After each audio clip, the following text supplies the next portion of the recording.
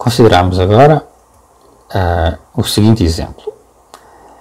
Determinar a equação da elipse que tem vértices 1 menos 4 e 1, 8 e excentricidade 2 terços. Okay? Ora bem, o centro da elipse é o ponto médio do segmento que é dado pelos vértices. Okay? Então eu sei que o centro tem que ser o ponto 1, 2. Okay? Pego no vetor A, 0A, né? no vetor OA, no vetor OA', somos 2 dividido por 2, tem o centro do segmento A', certo? E, portanto, eu também vejo aqui que o eixo maior é vertical, porque este segmento A', é um segmento que tem, o, uh, que tem a abscissa constante, né? o ponto x, a coordenada x é constante. Okay? E sabemos também qual é o comprimento do eixo maior, né? o eixo maior vai ser a distância do A até o A', portanto, é 2A, é o comprimento do eixo maior, A, A' é 12. Tá? Portanto, eu tiro que o A é 6. E automaticamente eu tiro que o C, por definição de excentricidade, que eu conheço, né? o C é E vezes A, então é 2 terços vezes 6, o C é 4. Como eu também sei que A quadrado é igual a B quadrado mais C quadrado, eu deduzo que o B quadrado é 20. Okay? Portanto, a equação da elipse tem que ser x menos y, x, y menos 2 ao quadrado sobre 6 ao quadrado mais x menos 1 ao quadrado sobre 20. Por quê? Bom, reparem, eu descobri que o eixo maior é vertical, né? Então, o, o valor do tamanho semi-eixo, azinho, né, ao quadrado, tem que aparecer debaixo da coordenada y na equação, porque o eixo maior foi trocado, é, mais, é vertical, não é horizontal como na equação original que eu apresentei. Tá? E portanto, o outro número, o b, que é menor, b quadrado é 20, o a quadrado é 36. Tá? Então, o outro número menor, que é o eixo menor da elipse, vai aparecer debaixo da coordenada x. Tá? E finalmente, como o centro é 1, 2, então tem que ser, né, não é a origem, então o x tem que ser substituído por x menos 1 e o y tem que ser substituído por y menos 2 na equação de elipse, certo? Então a equação final é y menos 2 ao quadrado sobre o a ao quadrado, o eixo maior, x menos 1 ao quadrado sobre o b ao quadrado, o eixo menor. Okay? E isto é a resposta ao exercício temos aqui uma representação gráfica do, deste exemplo, né? É, aqui o A, 1 menos 4, a linha 1, 8, o centro 1, 2. Okay? E aqui a elipse desenhada. Outro exemplo, determinar a equação da elipse cujo eixo maior mede 10 e tem focos 2, menos 1 e 2, 5. Ok, de novo observem que o eixo focal é vertical. Okay? O, e, o, o, F é 2 menos 1, F' é 2, 5. Portanto, é, a abscissa é constante. Então, o eixo focal é vertical e o centro é o ponto médio entre os focos. Ok? Podemos calcular diretamente, é 2, 2. Portanto, 2C é a distância entre os focos podemos calcular facilmente aqui, a distância entre os focos é 6, então C é 3. Como o eixo maior mede 10, então 2A igual a 10. A igual a 5. E nós descobrimos os vértices. Ok? Nós descobrimos facilmente quais são os vértices. Os vértices são 2 menos 3, porque eu pego no centro pego no centro e subtraio A né, vezes o vetor unitário na direção vertical. E o A' é mais A, é o centro mais A vezes o vetor unitário na direção vertical. Porque o eixo maior é vertical. Então são os vértices do eixo maior. 2 menos 3 e 2, 7. Ok? Então, eu sei quem é o C, eu sei quem é o A, então eu consigo determinar o B pela relação A quadrado igual a B quadrado mais C quadrado, que vale na elipse, e tiro que o B é 2. Então, a equação passa a ser o quê? Então, o eixo maior tem comprimento 10, portanto, o semi-eixo é 5, então vai aparecer 25 em denominador, mas o eixo maior é vertical, então tem que aparecer debaixo do y, né? e o eixo menor, o eixo menor uh, tem comprimento 4, de fato, né? o semi-eixo é 2, o quadrado é 4, e este tem que aparecer debaixo, em denominador, debaixo do coordenada x. Mas o centro é 2, 2, então no lugar de x tem que estar x menos 2, e no lugar de y tem que estar y menos 2. Ok? Então temos esta relação aqui, x menos 2 a quadrado sobre 4 mais y menos 2 a quadrado sobre 25 igual a 1. Finalmente, a excentricidade, nós podemos calcular rapidamente, é c sobre a 3 quintos. Um, para responder exatamente ao exercício, terminar a equação da elipse com os eixos maior mete 10 e tem focos, eh, estes aqui dados, bastaria né, calcular o C, calcular o A, calcular o centro, calcular o B e chegar nesta equação. Ok? Eu aproveitei para uh, calcular mais elementos da elipse, calculei uh, estes vértices, A e A', ok? e calculei a excentricidade. Certo? Mas para responder exatamente este exercício, bastaria chegar só na equação de elipse. E para isso eu preciso de determinar o centro, o valor de C, o valor de A e o valor de B. Ok? Outro uh, exercício. Determine os vértices, focos, centro e excentricidade da elipse dada por esta expressão. 25x mais 16y mais 50x mais 64y menos 311 igual a zero. Ok? Então, esta expressão não é diretamente uma uma expressão do tipo uma constante vezes x ao quadrado, mais uma constante vezes y ao quadrado, mais outra constante igual a zero. Então aparece aqui é, expressões 50x, 64y. O que é que nós fazemos com elas? Não, bom, o que nós precisamos de fazer é completar o quadrado para reduzir esta expressão a uma soma de quadrados. Então como é que nós fazemos? Primeiro nós simplificamos esta expressão. Uh, observamos que temos, temos 25x quadrado e 50x tem o fator 25 em evidência, portanto ficamos com 25x quadrado mais 2x. Depois observamos que entre 16y quadrado e 64y temos o fator 16 em evidência, podemos colocá-lo para fora. Temos 16 como fator comum, ficamos com 16 vezes y quadrado mais 4y. O 311 passamos para o outro lado da igualdade então, e agora nós precisamos de transformar isto aqui numa soma de quadrados. Mas reparem, x quadrado mais 2x é quase uma soma de quadrados, é quase x quadrado mais 2x mais 1. E y quadrado mais 4y também é quase uma soma de quadrados. Como é que nós uh, podemos descobrir qual é a, a, expressão, aquilo que nós precisamos de somar ou subtrair aqui? Uh, basta pensar na fórmula da uh, soma de, do quadrado da soma. X mais a ao quadrado é x quadrado mais 2ax mais a quadrado. Então, o 2x aqui deve ser 2ax.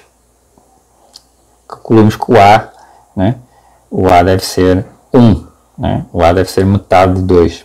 Então, nós colocamos aqui 2 sobre 2, metade de 2 ao quadrado, para fazer aparecer o que nos falta, mas para, para que a equação fique equilibrada, nós somamos aqui, temos que somar o mesmo do outro lado. Por causa deste fator 25, temos que somar 25 aqui. Isto aqui já vai dar o quadrado de x mais 1. Ok? Isto aqui é x quadrado mais 2 vezes 1 vezes x mais 1 ao quadrado. Isto aqui é x mais 1 ao quadrado. No, no caso do y, né, nós temos y quadrado mais 4y, então nós vamos pegar em metade de 4 e levar ao quadrado, somar. Para compensar, isto é 2 ao quadrado, isto é 4. Para compensar 4 vezes 16, temos que somar 64 do outro lado da igualdade.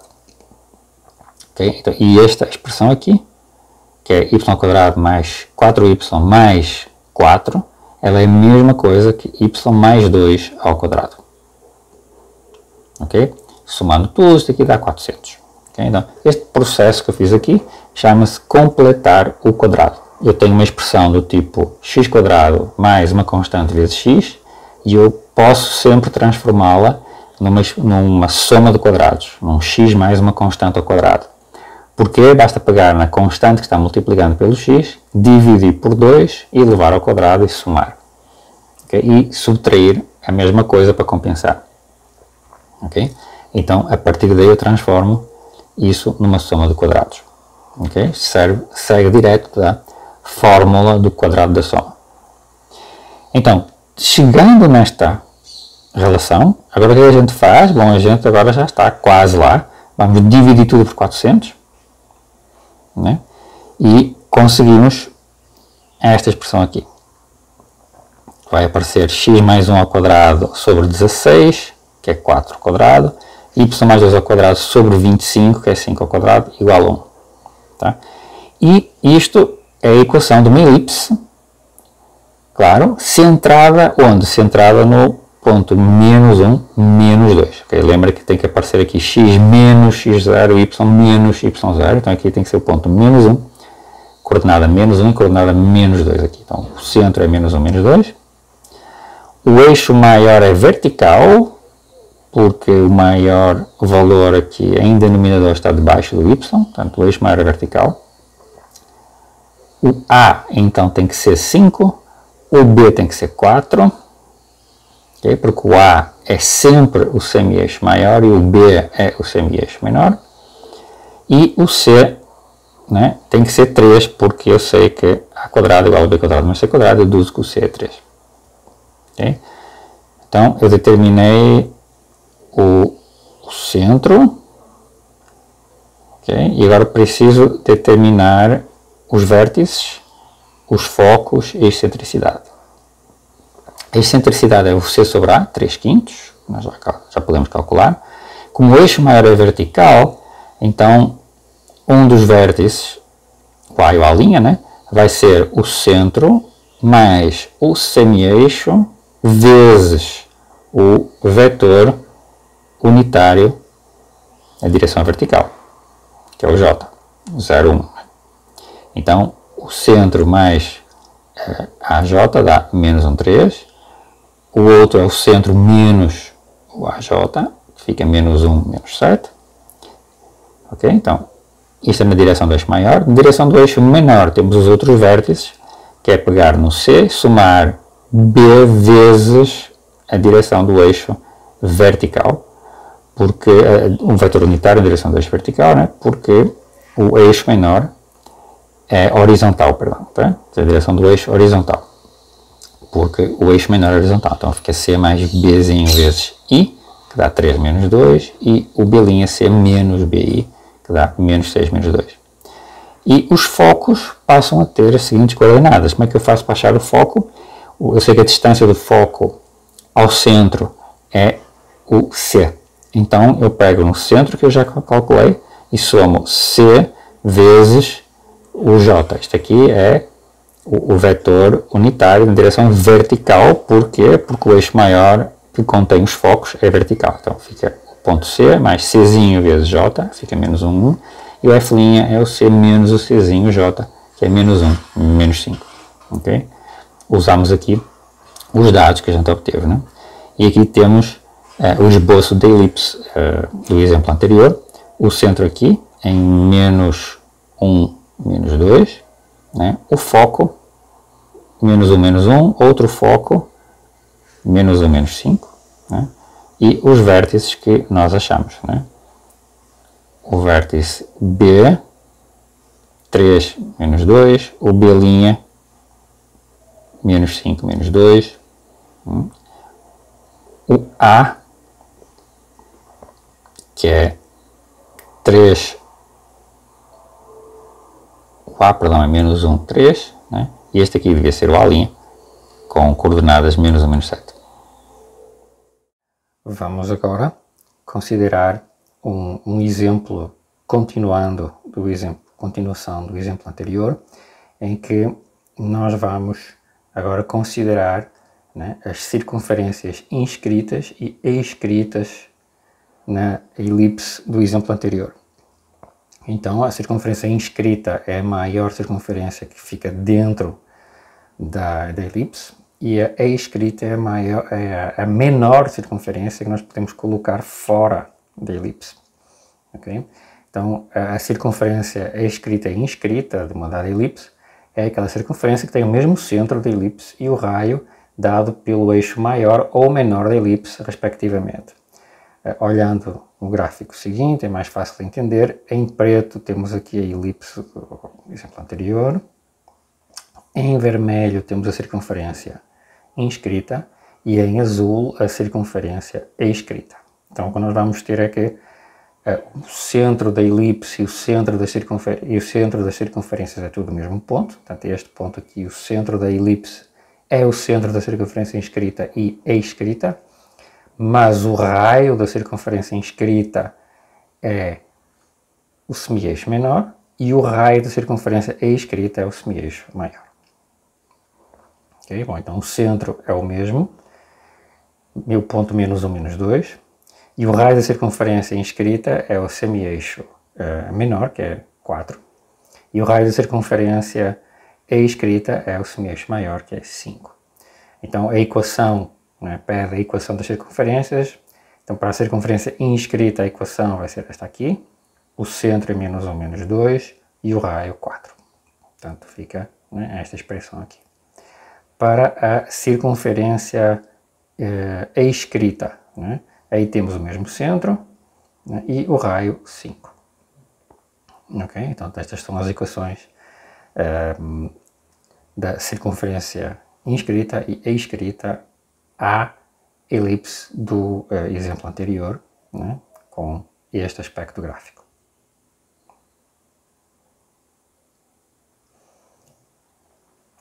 Um outro uh, exemplo é uh, achar a equação e os elementos da elipse com foco, focos na reta y igual a 1, um dado vértice, o, o vértice no ponto 0 1 mais raiz de 3, sabendo que o triângulo F, F'B é equilátero. Portanto, o que é que é este triângulo? É o triângulo formado pelos dois focos né, e este vértice B. Okay? Este vértice B né, é, um, é um vértice que não está na reta onde estão os focos. Então, este é o vértice, né, um vértice da, do semi-eixo menor ok? Então, eh, uma vez que este vértice né, está no eixo y, ok? E a reta é y igual a 1, é uma reta horizontal, então a interseção do eixo y com a reta y igual a 1 é o ponto C01, vai ser o centro da elipse, né? Porque é, tem que ser é o ponto que está na reta onde estão os focos né? e ele está de fato uh, na, na, vertical deste vértice.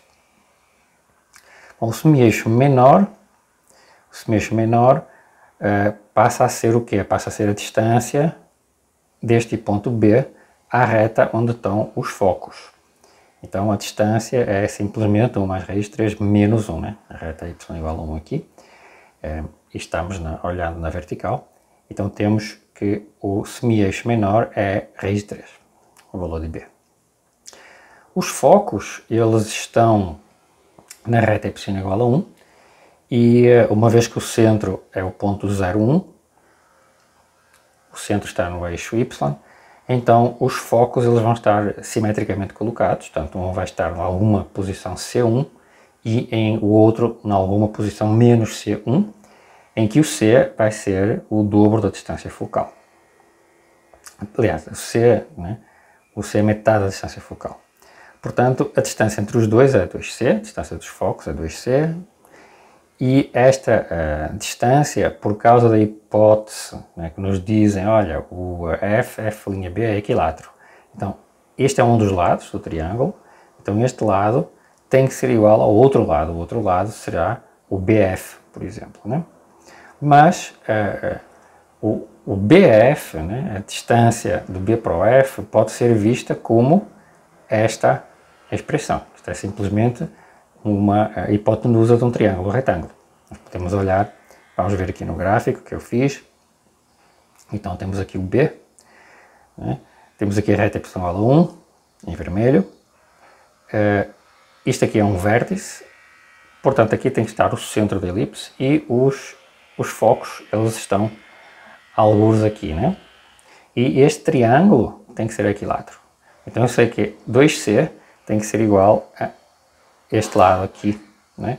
Mas devido aos, ao nosso conhecimento dos elementos da elipse, né? este lado aqui é exatamente o valor de A é o semeixo maior, que é igual a raiz quadrada de B quadrado mais C quadrado.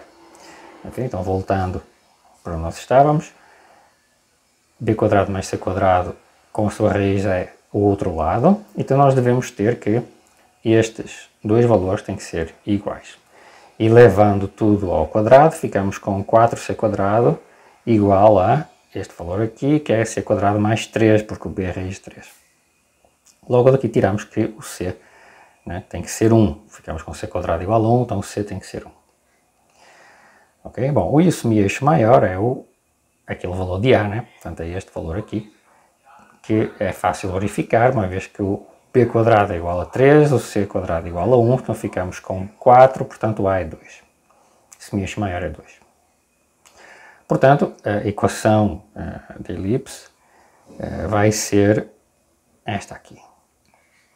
Uh, o semi-eixo menor está na direção do eixo y, o semi-eixo maior na direção do eixo x e o, o centro é 0, 1. Né? Então temos aqui a equação da elipse, aqui está a quadrado, aqui b quadrado. Os focos, uma vez que o c é 1, então os focos estão nos pontos 1, 1, menos 1, 1. O, os vértices, um deles nós já conhecemos, então o outro vai ser simetricamente colocado, vai ser o 0, 1, né? depois com menos raiz de 3 na, na, na, segunda coordenada, e os outros vértices são simplesmente pegar no centro e somar o semi-eixo maior vezes a direção uh, horizontal, neste caso, né? e nós calculamos uh, diretamente 2, 1 e menos 2, 1. E a excentricidade, finalmente, é o C sobre A, é 1 meio. Então conseguimos os elementos da elipse e conseguimos a equação. Okay? Usando esta informação, temos a posição do vértice e nos dizem que o triângulo formado pelas, pelos uh, focos e um dos vértices é equilátero, né? ou seja, nos informaram que este triângulo é equilátero e, uh, e sabemos a posição deste, deste vértice, né? e sabemos onde é que estão os focos que estão nesta reta y igual a 1. Okay? Isso é suficiente para nós, passo a passo, determinarmos um, os elementos de elipse e a sua equação. Em seguida falaremos de, uma outra seção cónica, falaremos da hipérbola.